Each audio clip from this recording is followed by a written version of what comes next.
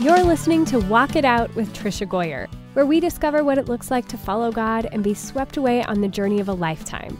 Author of over 70 books, mom of 10, yes, 10, homeschooler and speaker, Tricia Goyer will explore what radical obedience to God's word looks like. It's time to hear from God lovers who've dared to say yes. Listen in to heart to heart chats and learn how others overcame doubts and fears. Discover how God used ordinary people to impact others one step at a time. If you're ready to get radical, get going, and make a difference in this world, you're at the right place. Here's your host, prolific writer, world traveler, people lover, and mega nap taker, Tricia Goyer. Hey friends! Well, today on Walk It Out, I'm chatting with my friend Amber Lia, and we're going to be talking about the new book that she wrote with her husband Guy, Marriage Triggers. Marriage Triggers walks you through 31 of the most common marital issues that sabotage great relationships. Guy and Amber have been married for over 14 years, and they will be the first to tell you they are just a typical couple that want you to thrive in your marriage. In the book, they share tips for countering negative reactions to triggers with gentle, biblical responses. They're also co producers and owners of their faith and family production company, Storehouse Media Group. So, welcome, Amber. Thanks, Tricia. It's always a good thing when I get to talk with you. So, I'm uh, excited to be here. Yeah, it's so fun chatting, and we're both managing working at home and kids at home and all the things that are going on right now. Exactly. All the many, many things that a lot of people can relate to with Yes. working from home, kids at home, homeschooling when you didn't think you were ever going to homeschool, all of those things. Yeah, and I mean, because a lot of families have both moms and dads trying to work from home and balance everything, I can imagine there might be a lot of triggering going on right now. For sure. Absolutely. I think that's 100% true. And that's what I'm hearing definitely through the grapevine. People are struggling. Yes. struggling. So let's just jump in and start talking about the book because um, I think it's so important. And I know that you have a book, um, Triggers, that talks about, you know, parenting. Why did you decide that you wanted to approach this in marriage too? Well, one of the things that I discovered when I went all around, you know, the country speaking and just talking with readers, letters I would get from readers, is they would say things like, Look, the parenting books have been tremendous in helping me with my kids. And I've actually been able to apply quite a bit of that in other relationships too.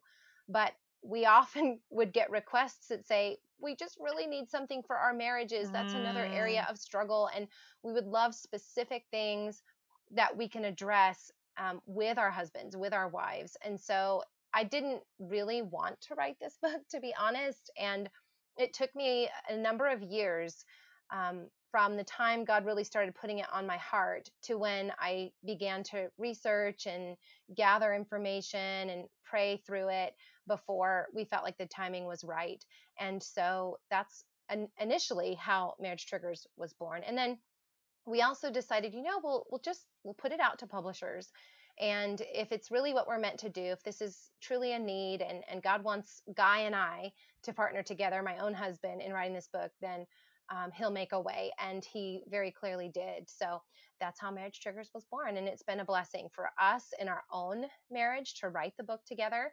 Uh, although we joke that writing a marriage triggers book is in and of itself a marriage trigger. Why did you write that? Why would you say that about me? How come you shared that yeah, story? yeah, yeah. And even just, you know, collaborating with somebody else on a project is always, I think, challenging. Um, and we did a, a pretty good job of communicating together and working together, but it was still, um, you know, obstacles to be had. But at the same time, writing the book helped us. And that's one of the things that Guy and I, it, it's important for readers to know is that we're not necessarily coming at you as doctors uh, um, in a specialty in this area. We really are just an average couple that loves God and um, wants to help others and is hoping that our transparency and the things that we share from others and, and their journeys and their stories um, will be really relatable because we're on the same journey through these triggers just like everybody else. Yeah, and actually that's what I was had for my next talking point because you guys are writing this and you're still in the parenting years. You have four little guys at home. I mean, you know, from toddlers to preteens, all the Yes. steps.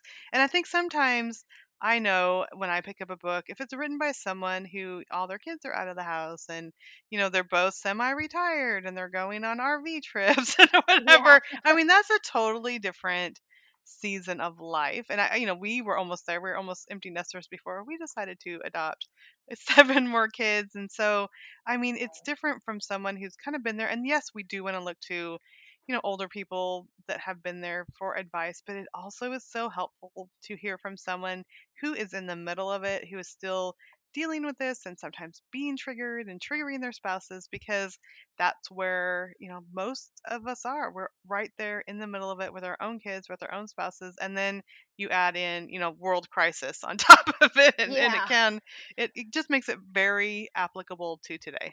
Absolutely. Yeah. That's our prayer. All right, so um, let's talk about trigger moments and just um, in general, what does that word mean and how do you think it applies to marriage? Okay. Great question. We think this is something that a lot of couples overlook.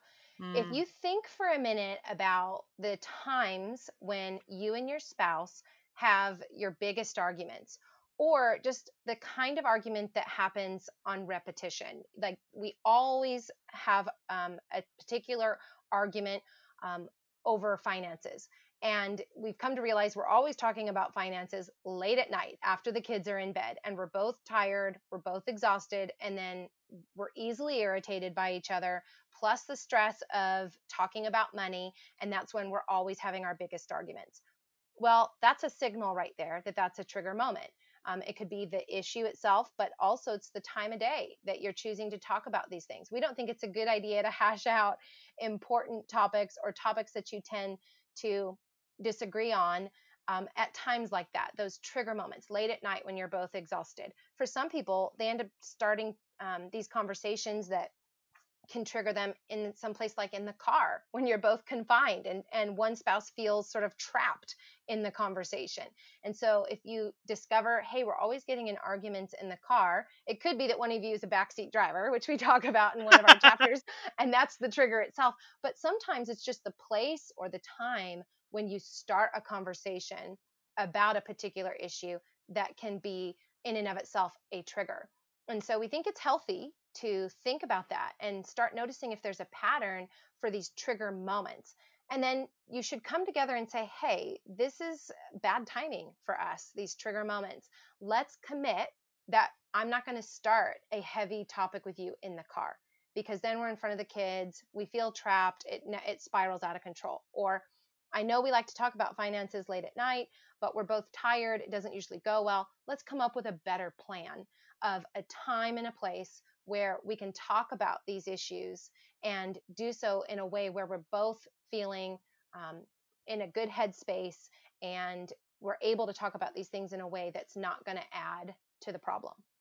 Yeah, that is such a good thing. I know most of the arguments John and I get into it's when one of us is tired. And then Yeah. it seems like, I mean, little things that are just little things that we can ignore. When you're tired and you've been with kids all day, it's like, oh, why did you say that in that way? Or that was rude. And that the other person might not be meaning to be rude, but we just take it that way because we're like at the end of our rope and we're tired. And, um, you know, we just need some space. And I think so many times, I love how you talk about too um, you know, don't you know right before bed or something get into these Yeah, big conversations that you know are are not going to be able to be resolved um, during that time and one thing that i found that really works for us is i'll just say you know and just messaging back and forth we both work at home but you know my husband's usually in his office all day so i'll just like hey i really need to talk to you about um, one of the teen girls and their school assignments um, can we do that sometime later and so it just lets him know that there's something I need to talk about or something that's going on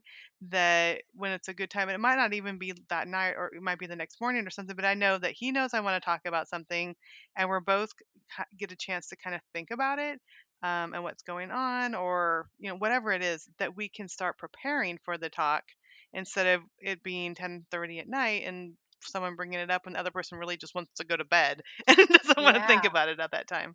And that's really important, Tricia, because our personalities are really different in our marriage relationships very often. That's true for Mhm. Guy and I. It's another one of the chapters in the book is when your personalities are different.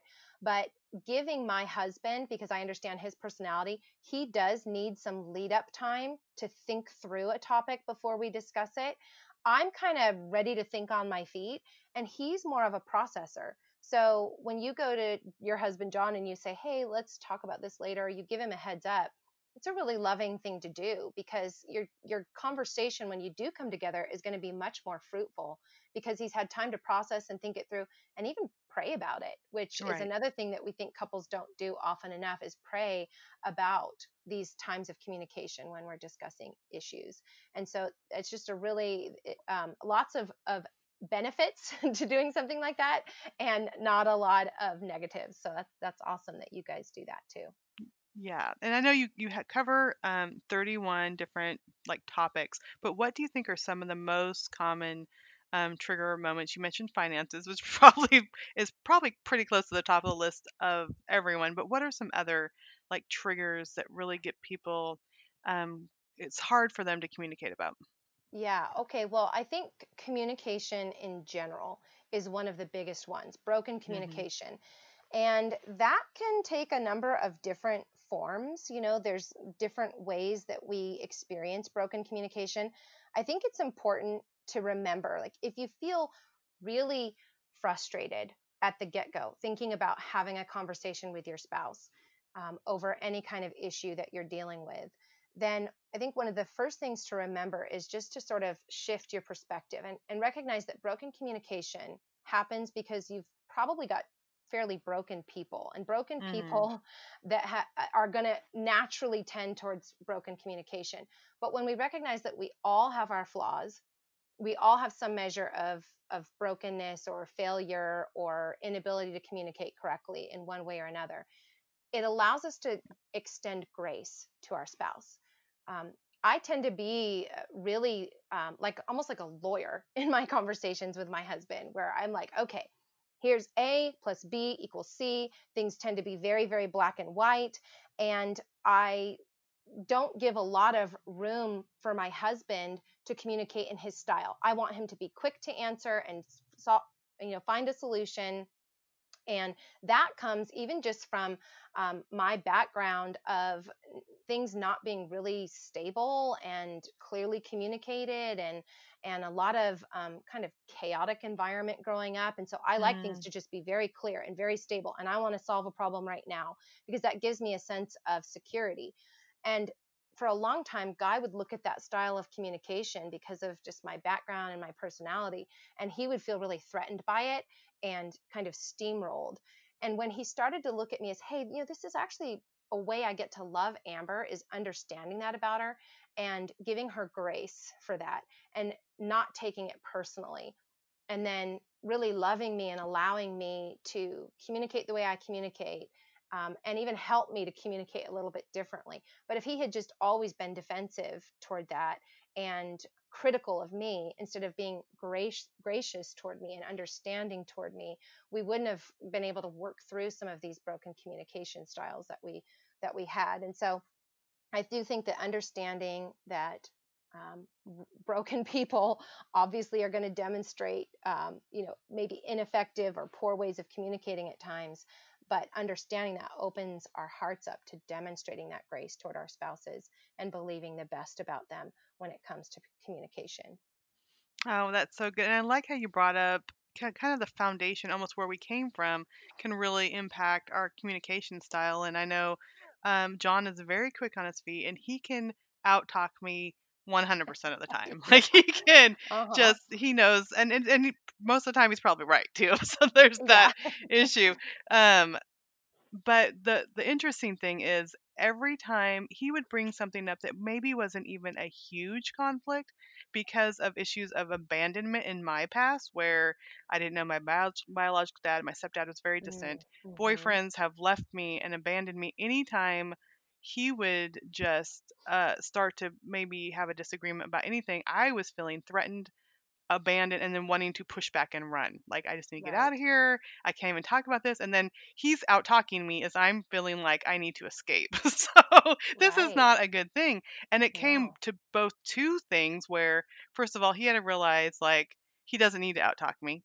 and Mm, second, I need to mhm. realize I can trust that um, just because there's an issue that we need to talk about, John is not going to abandon me. I mean, we've been married Yes. 30 years now, but it took probably oh 15 for me to like Yeah. feel confident in that that just because we're having a a disagreement now i'm not going to be abandoned in this and so all those issues of the past that baggage that we carry do often impact a lot about that communication and the, even those triggers and then when you get the two together you know bad communication and being triggered because of emotions from the past um, it can lead and we, we see there's so many divorces and it's really just we don't know how to communicate and we have these hurts that we don't know what Yeah. to do with either. And, and you you really hit the nail on the head for one of the essences of this book, Tricia, is just as far as understanding our one of the purposes of our marriage is that it took you guys 15 years to figure out those patterns. It took Guy and I many years to figure out our patterns. And I hope that alone gives people some hope and understanding that these are things that people do have to work through, maybe for a long time. But the essence of the point of all of that is that one of God's designs, I we believe, for marriage is that marriage is to be a place of healing for one Mhm. another. And so it's not just, oh, I love you, you love me, let's get married and everything's great. Marriage is really about our refinement, it's about our spiritual growth, and it is a place for us to heal. And not only that, when my communication style was fairly broken and um, aggressive and ineffective toward Guy, that was an opportunity for Guy to love me like I had never been loved before Mhm. and for him to bless my life and for him to demonstrate the love of Jesus for the church in the way that he loved me, his bride.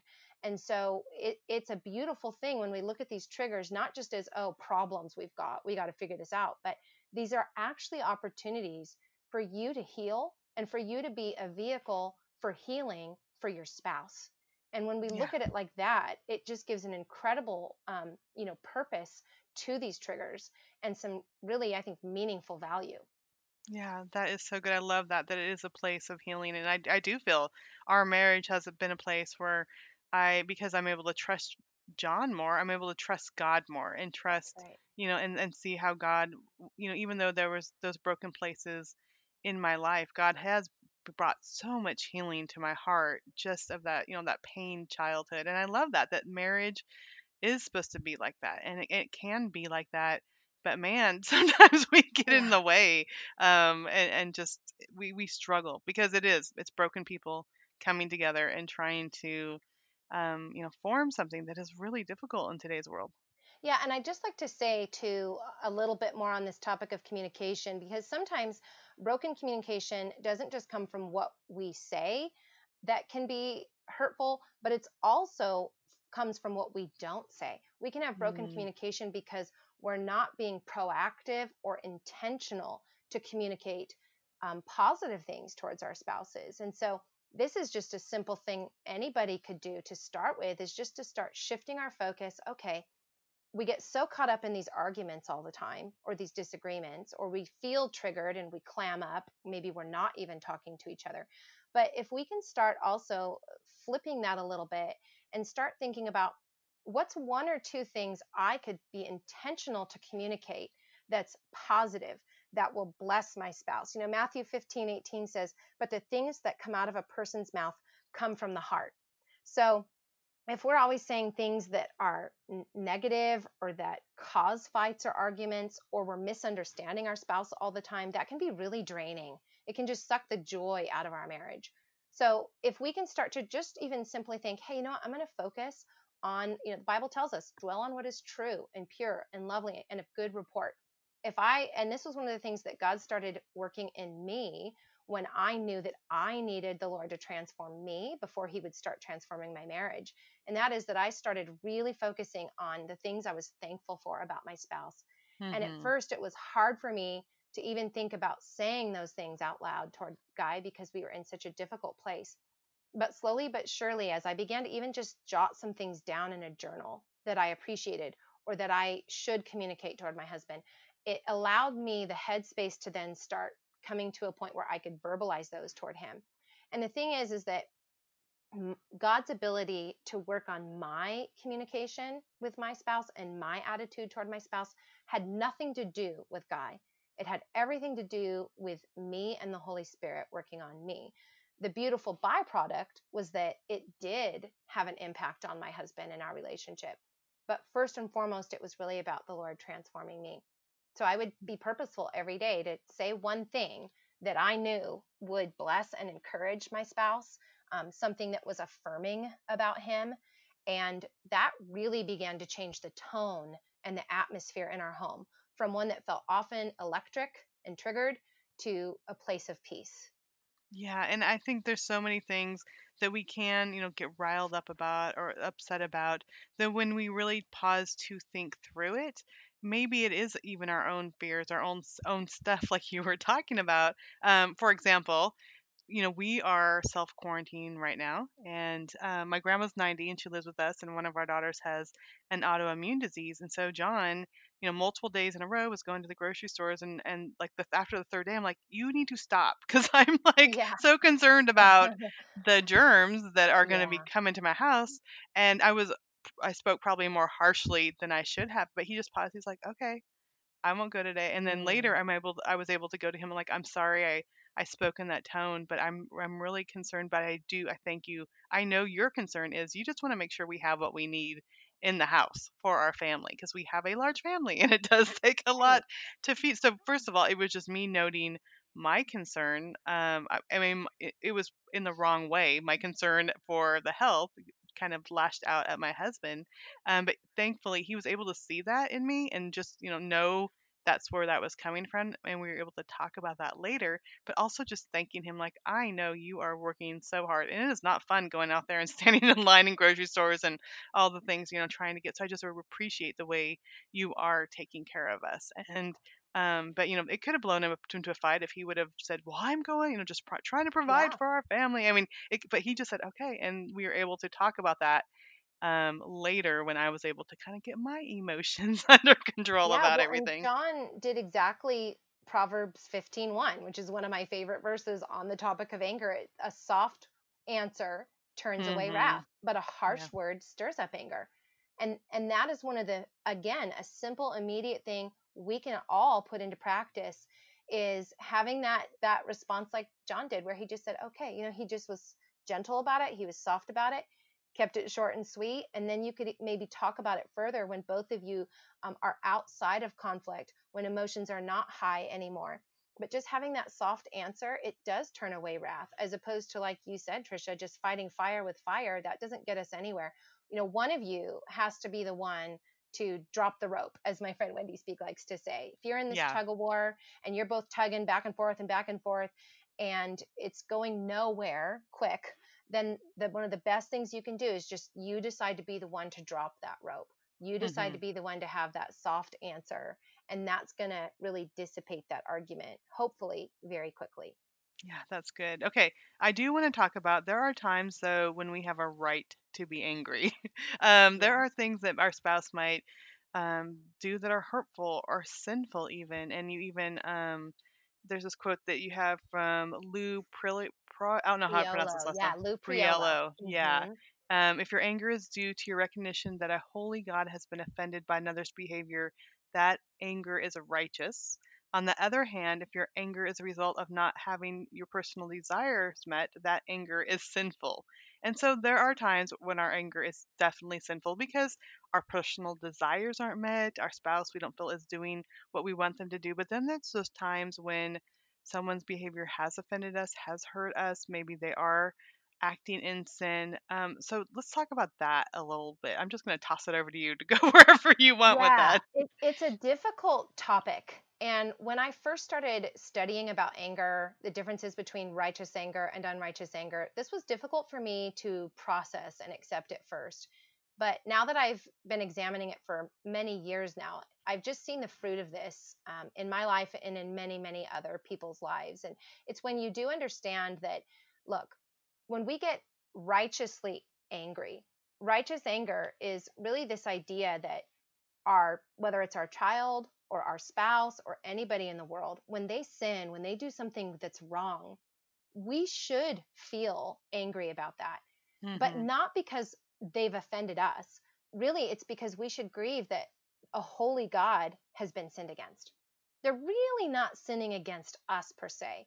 The the thing that they're violating, the the being that they're violating is really God because it's his law and it, he's the author of all that is good and right and true. So we should grieve when we see sin. I mean, it's sort of this idea of hate the sin, but love the sinner, right?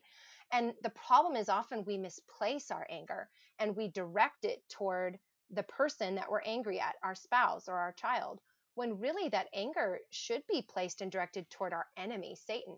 He's the one that's tempting us, he's the one that's the source of all evil. God is the source of all good.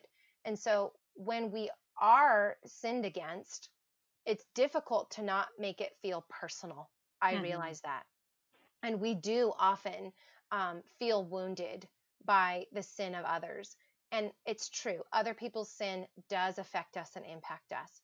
But if we can get to a place of spiritual growth where we care more that they've sinned against God than that they've sinned against us, it really removes a lot of the angst and the anger from these situations because we don't have to take it personally. When I look at my husband's sin, I can detach myself from it in a sense. And I can say, you know what? He's a sinner just like me. I, I am no better than him. And we both are an offense to God many times. The good mm-hmm. news is, is that there is therefore now no more condemnation for those who are in Christ.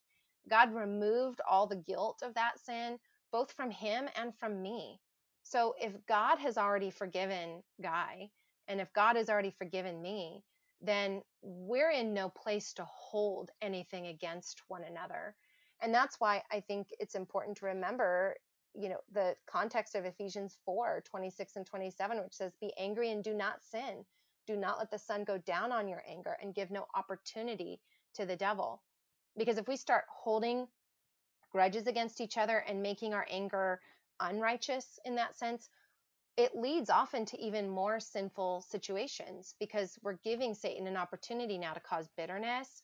Um, if we do start res- retorting with other angry words, um, yelling at somebody, you know, resorting to foul language, all of those kinds of things, we're just snowballing um, a bigger and bigger issue into more and more sin, giving Satan an opportunity. So it's really important to recognize that, yeah, we're going to get angry there is righteous and unrighteous anger and to really examine why are we so upset about this situation do i really need to take this so personally? And can i grow spiritually to the point where i'm more in love with and concerned about god and the sin of the world my spouse's sin my sin being an affront to him as opposed to taking it personally and feeling like a victim?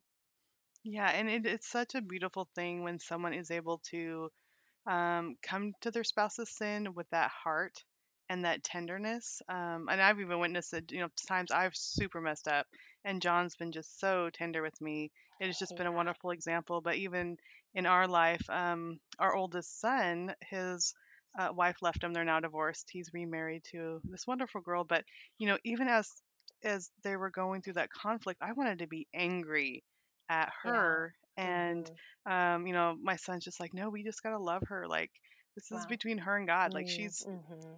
She's um hurting him you know she's hurting the relationship with him right now and um it just seeing his tenderness to it and because i didn't go angry and go off on somebody and you know, try to Yeah. like do you know what you're doing to my son i mean um Right. because i that his tenderness helped me to stay tender even though they're divorced now we have a good relationship you know the kids Yeah. have their parents that are still able to connect and we're still able to connect with her and you know their marriage didn't turn out like we wanted them to but the tenderness there really helped it can the relationship continue in Yeah. in a different way um, and so that is so like we don't want marriage to end in divorce but when we realize that um, ultimately we still need to love that person and we can be tender and like you said we all of us have messed up all of us have made mistakes Um, but love can go a long way, even to bring healing to very hurt places. Yeah, and and and grace as well because I talk about that in the book. I say justice doesn't always offer healing, but godly grace always does. Mm, So we may want justice, we may want people to answer for what they've done. We may want to hold people accountable to everything they've done that's hurt us or that's offended God. But that doesn't always bring healing. But when we offer that godly grace like your son did, um, it has a ripple effect that I think goes into eternity, and that brings a lot of healing. Oh, I love that so much. There are so many things we could talk about. Um, I, do, I want to just go through quickly and and ex- share some of the things um, that people can can expect in the chapters because I think I mean there's like we could talk each day on each of these. I mean Yeah, each we yeah we could talk over each of these chapters. Um, but I just wanted to go over some of the topics so people know like there this covers a lot. You know when the house is a mess, um, when you're married to a backseat driver, when finances cause you to clash, when life gets too busy. Um, I don't see a chapter on when you face a pandemic in here, Amber, though. that would have been good. That's But I mean. I did not think of that one. you did not think of that one but i mean there's there's so much more when your marriage ebbs and flows you talk about in that chapter about unexpected things happening yeah. um you know there's so many different topics when past wounds surface when your feelings are hurt so just know that i mean we could definitely talk over each one of these things but thankfully it's all in a book that people can go Yeah. and get and i love um, just even the subtitles too exchanging spouses angry reactions for gentle biblical responses and i love i mean you've even brought it up as we're talking today you know scripture god's word is truth and it can apply in so many areas and in every chapter um, god's truth just shines. It's not like you guys are just figuring out well this might work and this might work. No it's going back and it's really basing those responses um, on god's truth which is that that's what makes it so powerful Yeah, you know, God has all the answers to all of our Mhm. marriage problems. He really does. He has all the answers. He's the author of life. There's nothing that is outside of his understanding or ability to help us. And we hope that comes through in each of these chapters that we want to be really, really sensitive and caring because we know there's a lot of hurting couples out there. We're Yeah. very sensitive to that. We want to give you very specific encouragement straight from the Word of God and then some very practical and simple things that you can do that we have seen make a big difference even within a day or two of starting to apply some of these principles and that's really our prayer and our hope is that anybody who reads it will come away um, encouraged strengthened and that they will begin to even very quickly see a difference in their marriage Yeah, so good. I love it. I'm so um I'm just so thankful that you guys just, you know, together stood before God and have even shared your mistakes, your hurts, your pain, and then how God has transformed that to give hope to others. That's what people need. They need hope. Yeah. They need Yeah, they encouragement. And I'm and that's thankful not that easy you guys did that. No. Yeah, it's not easy, but but we we you'll get no judgment from us because we Right. share all of our issues in there, and so we're we're a safe place for people to to come to um, for insight and advice because uh, we've been there and done that, and we sympathize. So Awesome. So I highly recommend people get in the book. And where else can they connect with you online? So they can connect with me on Instagram, on my author page on Facebook, Amber Lia. My blog, Mother of Knights, because I have four little boys, my little knights. And they're adorable. And then, yeah, thank you. And then I also have a website with some of my books and some teaching videos at amberandwendy.com. And if you're interested in gentle parenting practices related to um, getting over some of our parenting triggers, my co author Wendy Speake and I have a Facebook group called Gentle Parenting with Amber and Wendy. And our books are available everywhere books are sold. Awesome. And I've heard um, that Barnes and Noble is do even doing like side pickup, book side pickup. So if you have a Barnes and Noble in town and don't want to wait Yes. till it gets shipped, you could call and order it, and they could uh, meet you outside and hand you your book. I'm so glad you said that. I didn't even So- know, but that's amazing. Yes. yeah, yeah. Well, Amber, thank you so much for being here. Thank you for all the ways that you just encourage us. You're welcome, Tricia. It's such a pleasure to be here. I hope all your listeners will be blessed and encouraged by our conversation. I know I am. Oh, thank you. Okay, friends, if ever there was a time when our marriage would be triggered, it was now. I think this is a perfect time. I'm so thankful for the chance to talk to Amber and I know Guy too. Amazing couple. And I'm so thankful that they are speaking into our hearts. I see on uh social media and Facebook, eh, people that are talking about like, do you find yourself just getting in these little arguments and um, being triggered? And I think so many times when we are in the larger crisis, which all of us have been um, in these recent months, that the buildup of the anxiety and tension and worry, we often take it out on those who we love the most and who we are closest to. And I have found that to be true too. Um, sometimes the worries of everything that's been going on in the world c- come into my heart and then um, go outwardly to my spouse in not so kind and gentle ways. So, definitely, this is a good time to pick up marriage triggers. Maybe you haven't had the time to sit down and read the Bible or read through books um, with your spouse. Now you might have more time. I know that's not true for everybody sometimes. Um, even now, there are spouses that are traveling and working and in healthcare and um, having a, a difficult time, but again, this is a book that we can turn to, we can look at, we can use to build our relationship, to think about some of the things maybe that trigger us that we haven't really had time to deal with or think about. But now we have either more time or more incentive as we are um, dealing with all these issues that are going on in the world. So today's Walk It Out verse is Ephesians 4 2 through 2 through 3. Always be humble and gentle. Be patient with each other, making allowance for each other's faults because of your love.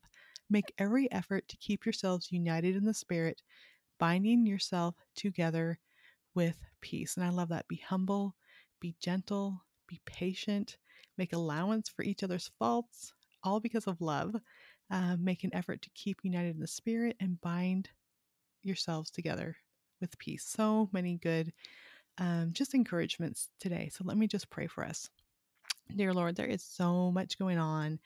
And sometimes uh, when we have those worries and those fears, instead of looking to you for strength and hope, we let those worries and fears build up and we end up um, maybe lashing out or speaking unkindly, not being gentle with those um, in our home, especially our spouses, Lord. And I have been guilty of this, so forgive me of that, Lord. And I pray that you'll help me be more humble and gentle, patient, making allowance um, with my husband, Lord. And I pray for those listeners out there too, that they also will make more of an effort to keep themselves united with you in the spirit, united with their spouse in the spirit, so that this time really can be used um, for us to come together and to support each other, especially in marriage, Lord. I thank you so much for Guy and Amber and just being real and vulnerable about the issues in their marriage and how other people can just turn to you and find hope in you and dig through those triggers. I think sometimes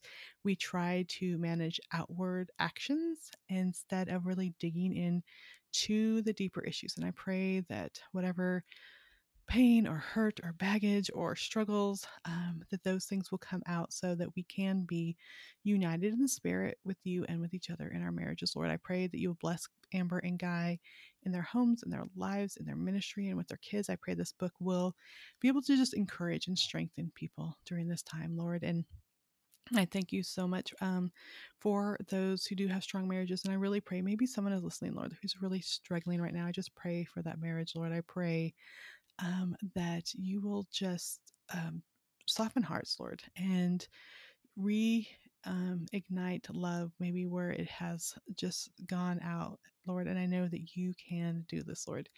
Um, I thank you so much for the listeners. I thank you so much for this ministry and this opportunity to just introduce my friends, old and new, to the listeners and that they may be encouraged. I pray for each one today. In your name we pray. Amen. Well, friend, thank you so much for tuning in. Always, you can find out all the show notes, all the information, everything we talked about over at walkitoutpodcast.com. Be sure to share with a friend. Also, I don't mention this very much, but I've written a lot of books. And I've had a lot of blogs on marriage. So if you just go to triciagoyer.com, I have a lot of resources and more blogs on marriage and relationships and forgiveness and confession, all the things. So be sure to go over at triciagoyer.com um, and look for those. You can also check out the books. Maybe you need a novel to read during this time. Um, also, a great book um, that would be good for your kids is my book, Prayers That Changed History. Now, that is, um, I'm working on the reprint right now, but there are some copies available on Amazon and other places. Um, and I hope that will encourage you. Again, this is a time we could really focus on those relationships close to us. We can um, have that time to read and to build up our own um, just fill ourselves up during this time instead of our busy rushing lives before pouring out and maybe you have a little more time to read so be sure to check out all those res- resources over at triciagoyer.com again thank you so much for listening and i pray that you may be encouraged thanks for listening to walk it out head over to the show notes for this podcast and all past episodes at www.walkitoutpodcast.com if you love the show, share it with someone you know who can make a radical difference in the world. We love new friends. See you next time.